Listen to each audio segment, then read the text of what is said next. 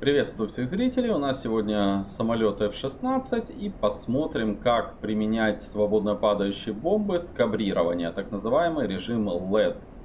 Итак, смотрим, главное включили, далее выбираем воздух-земля, выбираем наше оружие, это 84 у меня ГБУхи стоят, сразу проверяем взрыватель, нос-хвост, ну и я буду сбрасывать сразу парой. Бомбы у меня всего подвешено две штуки.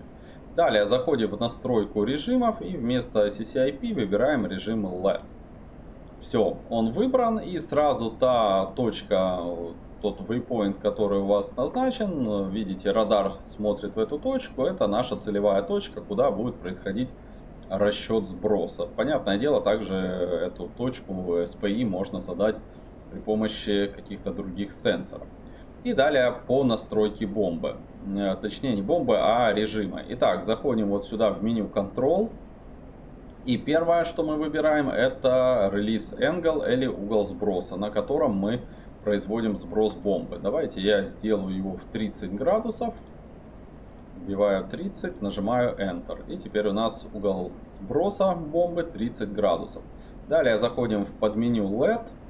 И здесь у нас есть три режима. Это э, три параметра. Это PR, это скорость набора высоты какая. Дальше время полета до цели и минимальная высота сброса бомбы.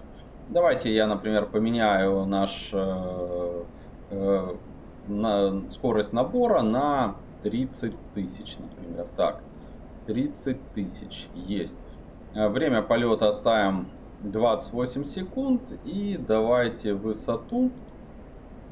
У меня сейчас 590. Ну, давайте минимальную сделаем там 600, например. Так, где у нас тут? 600 футов.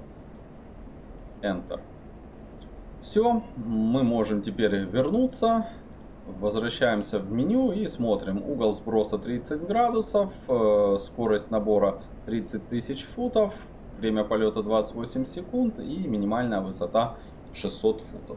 Все, теперь все, что нам остается сделать, это сняться с паузы и на максимальной скорости, я давайте врублю форсаж, двигаемся в сторону нашей цели. Опять же, как и в режиме CCRP, линия сброса должна проходить через вектор скорости и какие наши дальнейшие действия. У нас здесь есть две вот такие метки, жирная и вот такая меточка. Как только мы будем подходить к месту сброса они начнут двигаться друг к дружке. И в этот момент мы зажимаем уже клавишу сброса. Как только они соединятся, мы начинаем набор с углом в 30 градусов с перегрузкой где-то в 4G.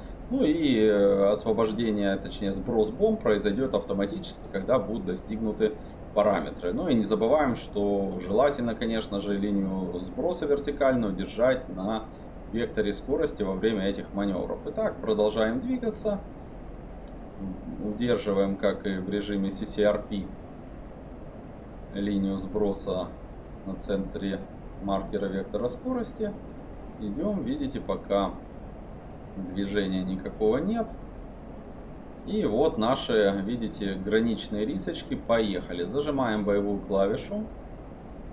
И готовимся в момент их встречи произвести набор с перегрузкой в 4G и на угол 30 градусов. Итак, есть соединение. Выходим на угол в 30 градусов. Бомбы сброшены. Ну и все. Разворачиваемся. Мы уходим и сейчас посмотрим, куда там бомбы долетели. Так, идем, идем, идем.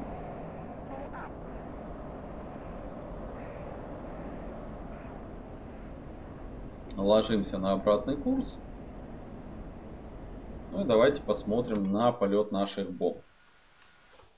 Ну, как вы понимаете, параметры я сброса немножечко неправильно выдерживал. Должны бомбы были попасть в центр, вот в это вот скопление грузовичков, которое было здесь. Но я думаю, что сам принцип работы я в этом видео объяснил. Тут, э, как и в режиме CCRP, все зависит от того, насколько точно и правильно вы пилотируете самолет. Иначе, понятное дело, бомбы свободно падающие и точность очень сильно от этого зависит. Ну а на этом я видео заканчиваю. Всем хороших полетов.